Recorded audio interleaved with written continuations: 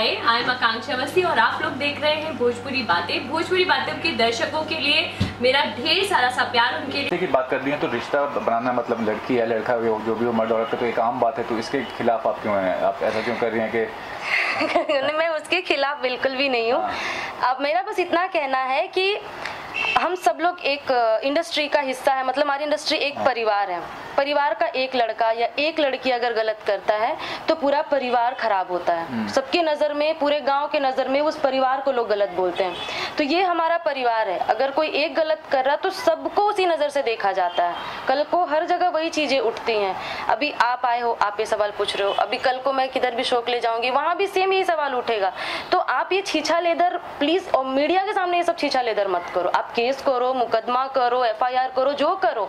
पर personal level पे करो ऐसे सबके सामने करना इट्स नॉट गुड नहीं लेकिन आप ये बोल रही हैं लेकिन एक नाम भी लड़की अगर होगी मान लीजिए कल को उसके साथ कुछ छेड़खानी हो या कुछ दुर्व्यवहार करे कोई तो वो भी तो इस तरह से मीडिया के सामने आके हाँ हाँ कर सकती है ना हाँ। अगर अगर आपका पहले उसके साथ रिलेशन ना रहा हो हाँ। आप आप पहले रिलेशन बनाते हैं आप पहले सब कुछ मतलब भोजपुरी में कहा कि घुआ में पुआ पकैलू अकेले अकेले और अब जब सबके सामने आ गया तो दिक्कत होगा था तो वही चीज़ है कि जब आपने मैं अक्षरा जी को भी गलत नहीं बोलूँगी बस उनका जो वे है वो गलत है।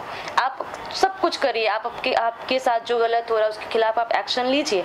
लेकिन ऐसे छीछा लेदर करके अपनी इज़्ज़त के भी आप वाट लगा रहे हो उनकी इज़्ज़त के भी वाट लगा रहे हो ये मत करो बस मेरा इतना ही। और ऐसा भी माना जाता है कि पवन जी का जो व्यवहार है बहुत मतलब उनके अंदर ये है कि वो जहाँ भी डोमिनेट करते हैं हर जगह वो उस चीज़ों को मतलब फ़िल्म की बात हो या शोज़ में भी वो क्या कहना चाहेंगे इस बारे में? नहीं मैंने तो जहाँ तक सुना है शोज़ तो मैंने किए उनके साथ फ़िल्में भले नहीं करी लेकिन इंडस्ट्री में हूँ तो जो भी चीज़ें होती है सुनने को मिलता। है मैंने तो सुना जब अक्षरा जी उनके साथ में थी तो उनके शोज़ भी वही डिसाइड करती थी कि कौन से डेट में पवन जी खाली हैं तो शो करेंगे या नहीं करेंगे।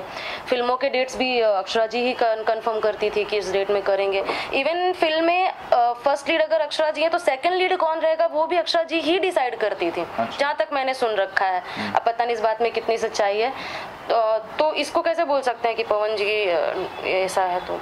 लेकिन उन्होंने ये भी बोला है कि मतलब इंडस्ट्री के लोग को रोकते हैं वो कि आ, आप अक्षर के साथ काम नहीं करो। और इंडस्ट्री के लोग इतने डर डरे हुए हैं कि वो ये नहीं चाहते हैं कि वो काम करें उनके साथ क्योंकि उनको एक कैरियर में सेटअप होगा। मतलब क्या कहना चाहता हूँ कि रुकावट हाँ। रुकावट होगा। तो ऐसा तो नहीं है काम तो कर ही रही हैं। पवन जी भी वेब से गाते हैं गाने वो भी वेब से गाने गा रही हैं।